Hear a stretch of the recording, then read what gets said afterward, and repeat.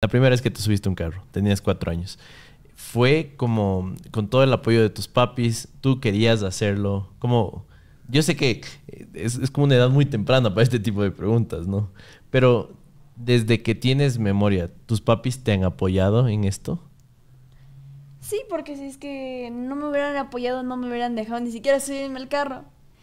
Qué me chévere. apoyaron desde muy pequeña siempre, siempre estuvieron ahí diciendo, sí, tú puedes, tú, tú lo, lo puedes lograr. Me subieron ahí en el carro.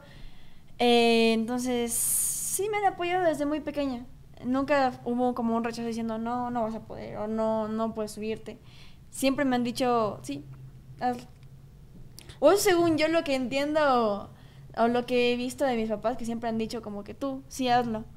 De hecho, conozco niños más pequeños que han entrado a este deporte desde muy pequeños. Creo que el más pequeño de edad es dos años. Wow. Wow. Oye, y, y dame, ¿cuándo fue que haces el clic y dices, sabes que esto me gusta, siento que soy buena para esto o quiero dedicarme de lleno a esto? A los siete años en mi primera carrera de Colombia. De hecho, ahí tengo una anécdota en la Dale. cual eh, yo era mi primera carrera, estaba en una categoría baby. Eh, eran como 10 pilotos colombianos, todos. Y todos eran hombres, todos eran hombres. Solo yo era la única mujercita y era ecuatoriana. Entonces los niños iban pasando ahí, al lado mi- ahí estaban pasando enfrente de como mi pit. Aunque no era pit, era solo una como carpita con, eh, con mi carrito ahí. Pero estaban pasando por ahí y un niño me saca la mala seña, eh, que es la, el dedo La- del el medio. del medio, ya. Y yo no sabía, para nada sabía qué significaba esa seña. Entonces le pregunté a mi mamá, mami, ¿qué significa?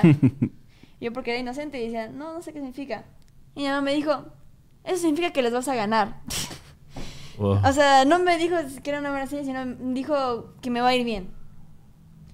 Y fin. Después de eso yo salí, di lo mejor de mí y crucé la bandera de Ecuador primera. Wow. Y ahí fue cuando dije, esto es lo mío. De hecho, en un principio dije, mami, yo voy a ganar, yo voy a ganar. Y mamá me apoyó en todo, pero no es que siempre me tenga que tener fe. O sea, que diga, es tu primera carrera, capaz si no gana. O cosas así.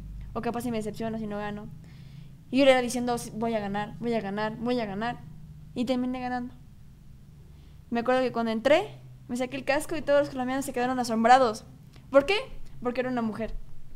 Porque salió el pelo así todo y, y dijeron, wow, es una mujer, es una mujer. Eh, vinieron los, los medios de comunicación y dijeron, bueno, aquí la colombiana Doménica Arellano. Y yo dije, disculpe, yo no soy colombiana, soy ecuatoriana. Siete años, Siete años. Qué chévere. Y, y, claro, eso, eso es algo que quería como aclarar, ¿no? Porque, a ver, el, el automovilismo es un deporte y todas las derivaciones que existen desde rally hasta justo eh, karting, Fórmula 1 y tanto, siempre ha sido un deporte bastante machista, ma- masculino, por así decirlo. Y eh, aquí la Dome, desde la mitad del mundo, viene dando clases a un montón de varones de cómo se maneja. ¿Me explico? Es algo muy co- como contraintuitivo y muy bonito, porque debes tener un montón de recuerdos así, de sacarte tu casco, de que tu cabello cae y que la gente es como que te está viendo como que fueras un bicho raro o algo así.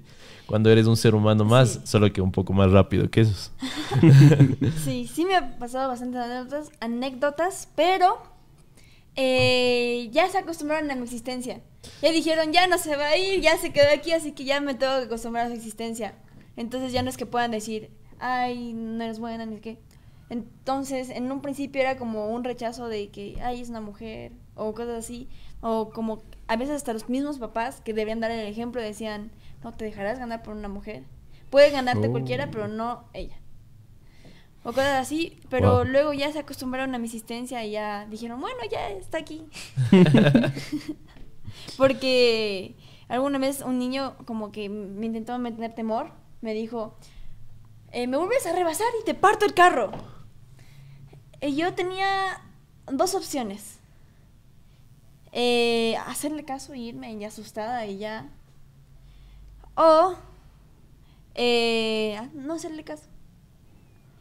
Eh, en este caso, o escogí la opción, la opción que no existía. No hacerle caso y rebasarle. Apenas pude y además de eso y demostrarle que yo, que yo era mejor que él. Oye, y Wow. a ver, empiezas a los siete años, pero ¿cuál es tu sensación? ¿Cómo podrías describir el ir a más de 100 kilómetros por hora, el, el llegar a velocidades que tal vez normalmente una persona a tu edad no ha llegado? Ah. ¿Cómo le describirías a alguien eh, la velocidad? Claro, y cómo te sientes, ¿no? Mientras manejas. ¿Cómo describiría, o sea, a lo que digo que llegué en el Fórmula 4? ¿O cómo? Eh, En, en general, cuando te subes a un vehículo, ¿cómo describirías esa sensación de velocidad? Adrenalina, felicidad. eh, de hecho, cuando tú vas por el piso, en- porque los kartings son como el piso, eh, sientes más velocidad de lo normal. Sí. De hecho, la gente suele subirse a los carros de rental y decir, wow, capacidad de ganar al, mejor, al más rápido de todos. Ven el video y, van, y, ven que están más lentos de lo normal. y, y es algo real. O sea, tú piensas que vas muy rápido, pero no lo es. No es así. Entonces, como son carros al ras al piso, es, sientes más velocidad. Y el hecho de que yo corro en un carro, o sea, en un karting que tiene seis marchas eh, y voy a- en toda la recta como si nada, es algo asombroso porque digo, no muchas personas pueden hacer esto. Muchas personas temerían poner la sexta. Yo pongo la sexta sin ningún problema. sin miedo a, a salirme o a chocarme. Eh, en este caso, creo que la mayor emoción que me ha dado es cuando me subí a Fórmula 4 porque tú no llegas a, dos, a 200 kilómetros por hora tan fácilmente. Y más eh, en, en un carro normal. Entonces yo, yo iba ahí en la, recta, en la recta más rápida que había. Y el, y el casco se me iba para atrás. O sea, era. Llegaba a la recta y era. me iba para atrás. Y era la, la mayor emoción. Tan. O sea, una emoción in- inigualable. Es inexplic- inexplicable porque no esperas a que. Bueno, sí esperas porque es rápido.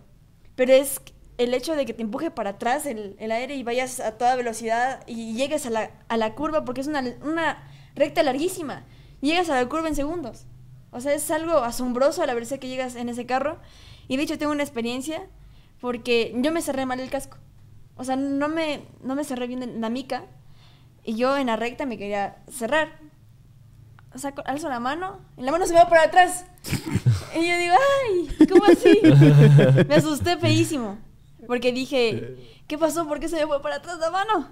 Entonces yo era como ir contra la corriente. Era moviendo la mano así, temblando. Me cierro el casco y luego eh, al, al regresar era más difícil. Y, y logré poner en el, en, el, en el volante la mano. Pero fue la mayor experiencia de mi vida porque yo no me esperaba que la mano me fuera para atrás. Sino que me esperaba que iba a ser algo normal como vas en el karting, así como saques la mano, tan, nada más. Eh, y fue una, una experiencia diferente porque yo esperaba eso y terminé con la mano para atrás. Y luego intentaba ponerme el casco bien. Y luego le pones.